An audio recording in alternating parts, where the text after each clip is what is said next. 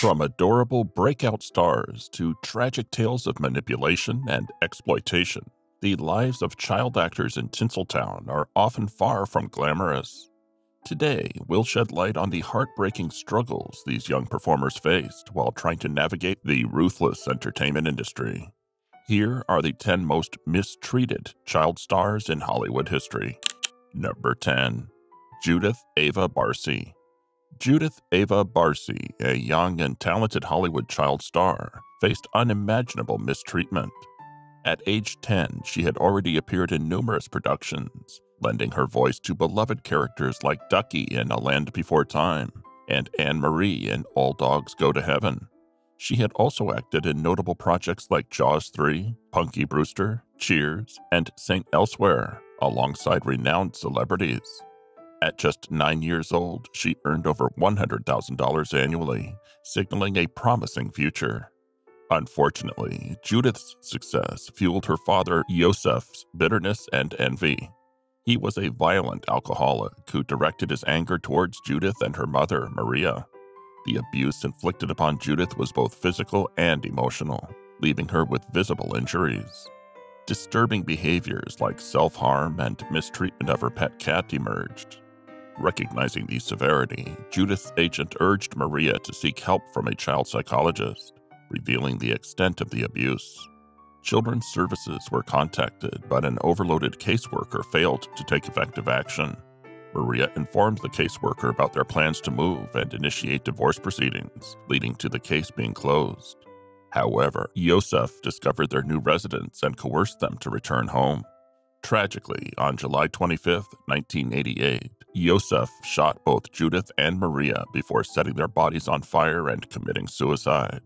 This devastating event shocked the nation and prompted changes in Child Protective Services laws. Don Bluth's production company was profoundly affected.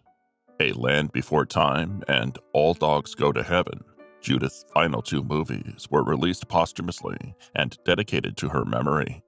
Bluth altered the ending of the latter film to honor Judith, allowing the protagonist to sacrifice himself and ascend to heaven. Judith's headstone bears her character Ducky's memorable phrase, Yep, yep, yep. She did not live to witness the completion of her work.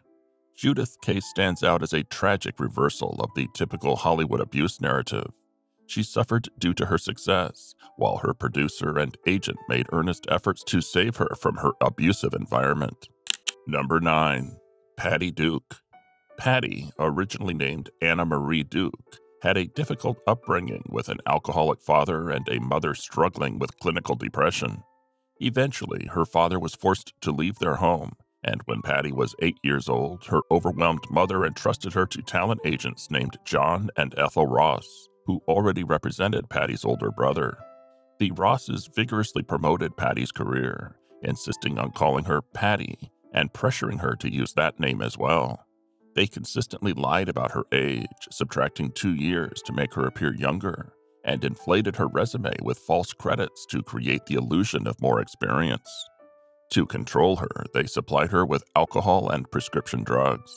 They also exploited her financially and subjected her to frequent sexual advances.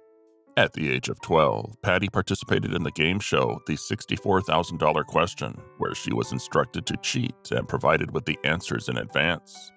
However, Patty's breakthrough came at 13 when she secured the lead role in the Broadway production of The Miracle Worker, portraying the blind and deaf Helen Keller. Two years later, she starred in the film adaptation of the play and won the Academy Award for Best Supporting Actress, catapulting her to fame. At 16, she had her own sitcom where she played identical cousins. In an attempt to escape the control of the Rosses, Patty married Henry Falk, who was 31 years old when she was 18. Throughout her career, Patty Duke also battled undiagnosed bipolar disorder. Despite her struggles, she continued acting and received three Emmy Awards in addition to her Oscar. It took some time, but Patty eventually found stability in her personal life. After two short lived marriages, she married actor John Astin, who was 16 years her senior, and their union lasted 13 years. Her fourth marriage endured for over 30 years until her death at the age of 69. Patty also served as president of the Screen Actors Guild for four years. Number 8. Jake Lloyd.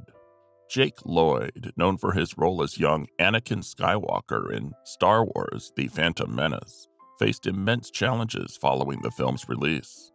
At just 10 years old and unknown to the public, Lloyd suddenly became a sensation. However, the fame brought him no real benefits.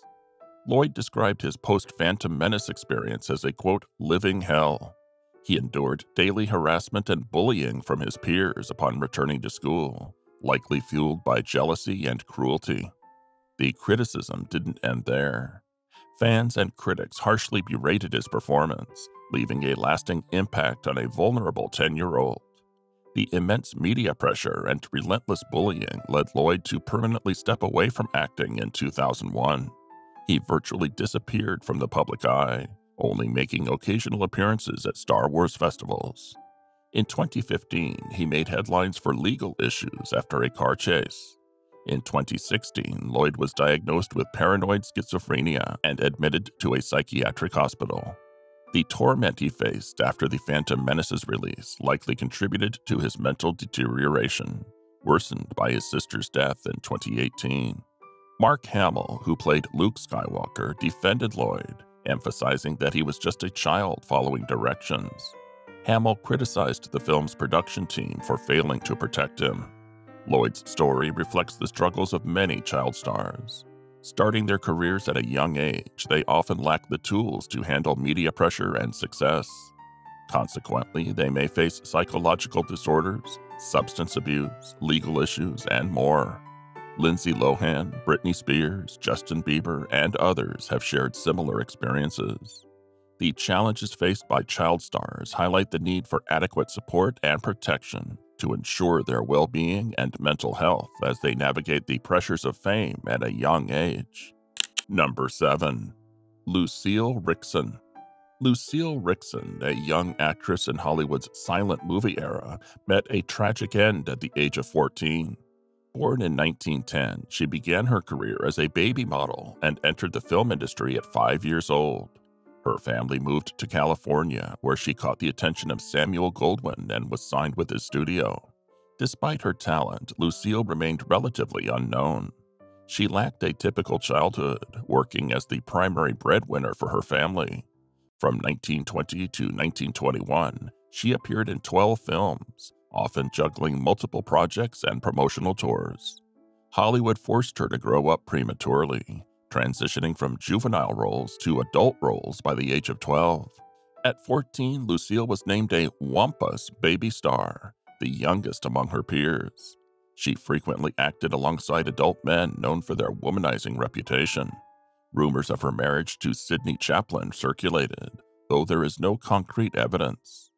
Lucille's mother approved of the romance, believing it would benefit her career. In 1924, Lucille experienced a breakdown attributed to exhaustion or illness. The true cause of her decline remains a mystery, with speculation ranging from tuberculosis to a botched abortion. Tragically, while bedridden, her mother suffered a fatal heart attack. Three weeks later, Lucille passed away. The family doctor cited her excessive workload and poor working conditions as significant factors in her decline. Lucille's death serves as a reminder of the dangers of exploiting children's talents in the entertainment industry. Number 6. Judy Garland.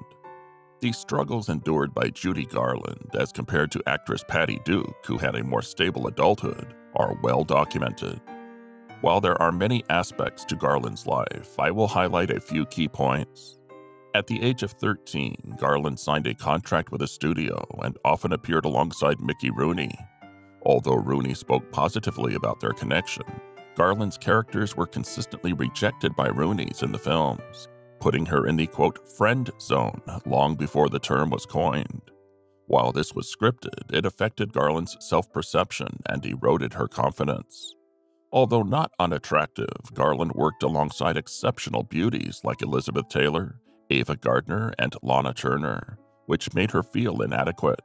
Despite her value and star appeal, Louis B. Mayer, the head of MGM Studio, referred to her as, quote, my little hunchback. While many child stars of that era faced strict control by the studio system, Garland seemed to bear the brunt of it. Her diet was closely regulated, and she claimed to be given drugs to cope with the demanding workload. One of her closest friends was essentially an MGM PR agent hired to manage her. Additionally, during her time, The Wizard of Oz was not considered the beloved classic it is today, leaving her with limited negotiation power. Garland married for the first time at 21 and would go on to have four more marriages. She had three children, but continued working tirelessly until her death.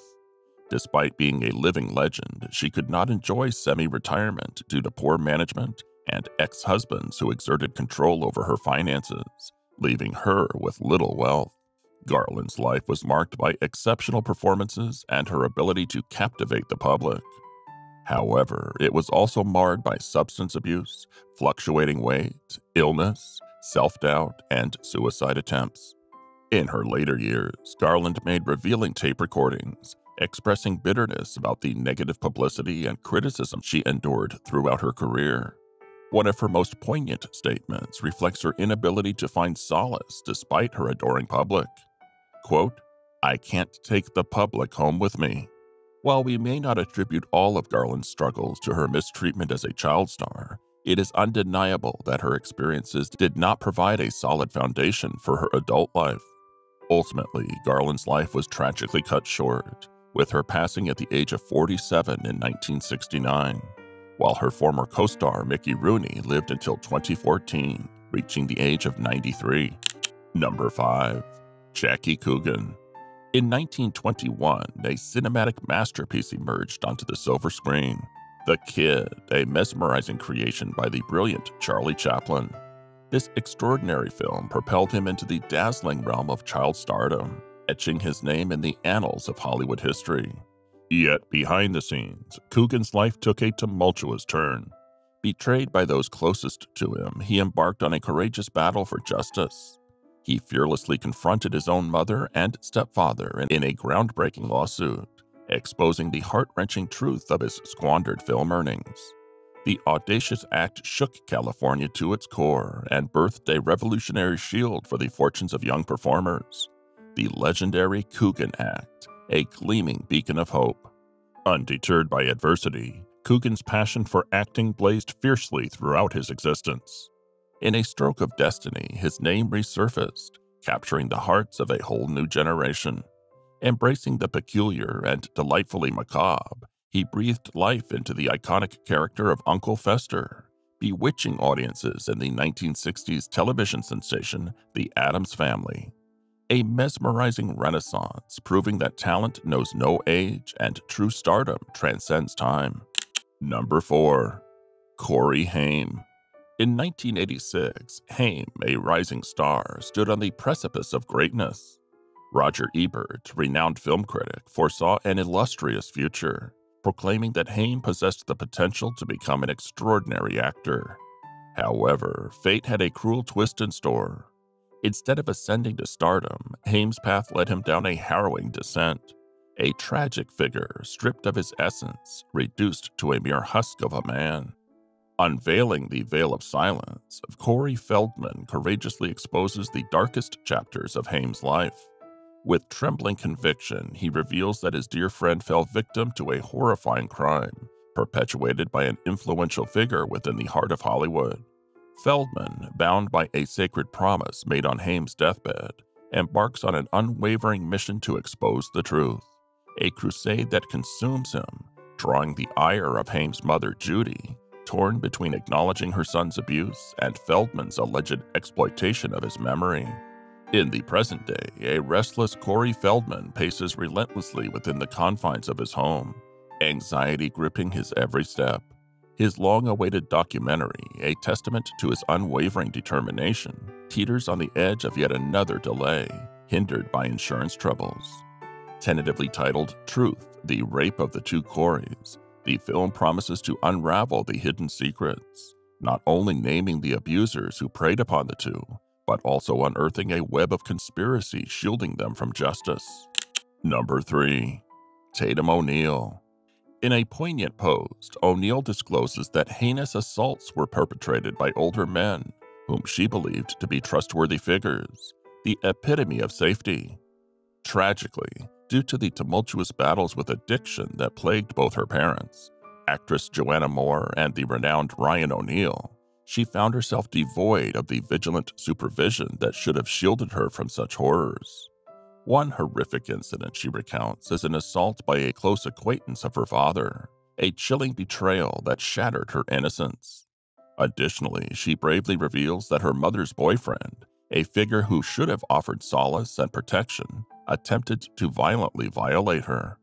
The profound impact of these traumatic experiences resonated throughout O'Neal's life.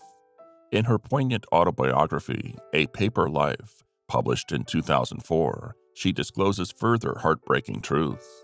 At the tender age of 12, she divulges being molested by her father's drug dealer, an act that scarred her in ways unimaginable. Even more heart wrenching, she recounts an incident of molestation at the fragile age of six, perpetrated by a family acquaintance, a harrowing betrayal of trust that defies comprehension. At the young age of 10, Tatum O'Neal etched her name in the annals of cinema history, captivating audiences with her remarkable talent in the iconic 1973 masterpiece, Paper Moon. Her remarkable achievement, however, is juxtaposed with the silent suffering she endured behind the scenes, a heartbreaking contrast that underscores the tragic realities lurking within the entertainment industry. Number 2. Mackenzie Phillips In a heart-wrenching revelation, Mackenzie Phillips shattered the veil of silence exposing a dark and disturbing truth that forever altered her family dynamics. It has been eight years since she bravely disclosed her long term incestuous relationship with her own father, a revelation that inflicted irreparable damage upon their once close ties. Throughout her life, Phillips battled with drug addiction, a struggle that she openly acknowledged. During a candid interview with Oprah Winfrey, she disclosed that her first encounter with cocaine occurred at the tender age of 11. Shockingly, her father, the one who should have protected her, actively participated in her drug use. He taught her how to roll joints and even injected her with cocaine. However, after pleading guilty to cocaine possession, Phillips embarked on a path to recovery, spending a year clean as she engaged in a drug treatment program. During the early stages of the abuse, Phillips summoned her courage and confronted her father, describing the traumatic experiences as instances of rape. These deeply disturbing revelations were brought to light in her debut book, High on Arrival, where she fearlessly bared her soul and exposed the painful truth. The book unveiled a horrifying reality. The Mamas and the Papas singer, John Phillips, had raped her at the age of 19, while both were under the influence of drugs and alcohol. Shockingly, the abuse did not cease there as it transitioned into a consensual, yet profoundly disturbing, incestuous relationship that persisted for a decade. In her latest book, Hopeful Healing Essays on Managing Recovery and Surviving Addiction, Phillips reveals that the repercussions of her revelations continue to haunt her family. Some members still hold her accountable for exposing their deeply buried secrets going so far as to disinvite her from important family gatherings, such as birthday parties. When Phillips first unveiled her truth in 2009, a storm of conflicting reactions engulfed her family. While some accused her of falsehoods, others harbored resentment towards her for revealing a long kept family secret, especially considering her father's untimely passing, leaving him unable to present a counterpoint to her claims. Mackenzie Phillips is caught in a world of immense pain, where her journey towards healing is entangled with the broken pieces of her family relationships. Number 1. Shirley Temple Shirley Temple, the iconic child star of the Great Depression era, had a questionable start in Hollywood, although she couldn't be blamed for it as she was just three years old at the time. Temple rose to fame as the nation's first true child star, gaining widespread recognition during the early days of the film industry. Known for her spirited personality, adorable dancing, and her trademark curly red hair, she became a symbol of innocence and joy in the midst of the harsh realities of the 1930s Great Depression. However, the beginning of Temple's illustrious career was tainted by shady practices. Before becoming a Hollywood phenomenon, she appeared in a series of films called Baby Burlesques. These pre code era films featured a cast of toddlers parodying mature movies and referencing current events, actors, and politics. While the concept may seem harmless, the children in baby burlesques were made to perform in revealing clothing and mimic adult situations. In one particular film called War Babies, Temple is seen wearing a loosely fitting top that seems deliberately designed to slip off her arms in a suggestive manner. But what's even more troubling is that she had to portray the mannerisms and demeanor of a prostitute. From performing a seductive dance to being called baby by young boys dressed as sailors, the film exploited Temple's innocence by forcing her into highly sexualized roles at such a young age. Temple later admitted that these films were, quote, a cynical exploitation of the child actor's innocence and occasionally contained racist or sexist elements. As her fame grew, so did the harsh rumors surrounding her. At the height of her popularity, rumors circulated that Temple was not a child, but a 36 year old dwarf. The Vatican even sent a priest to confirm her age. Other rumors claimed that her iconic curly hair was a wig, leading fans to pull on her curls in hopes of exposing a bald head. Not only did Temple endure intense work and hurtful rumors, but she was also deprived of a normal childhood. Her friend Marilyn Granas, who often stood in for her on film sets, revealed that Temple's life was unnatural. She didn't attend public school or have many friends to engage in typical childhood activities like riding bikes.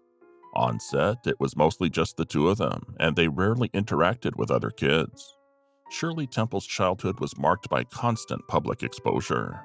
Whether it was her involvement in controversial films that exploited toddlers, or the relentless harassment about her appearance, her experiences set a concerning precedent for the treatment of young stars in Hollywood. And that concludes our journey through a dark side of Hollywood history. We hope this eye opening countdown has shed light on the often overlooked struggles faced by child stars in Tinseltown. Alright, that's it for today. Thanks for watching. See you in the next video.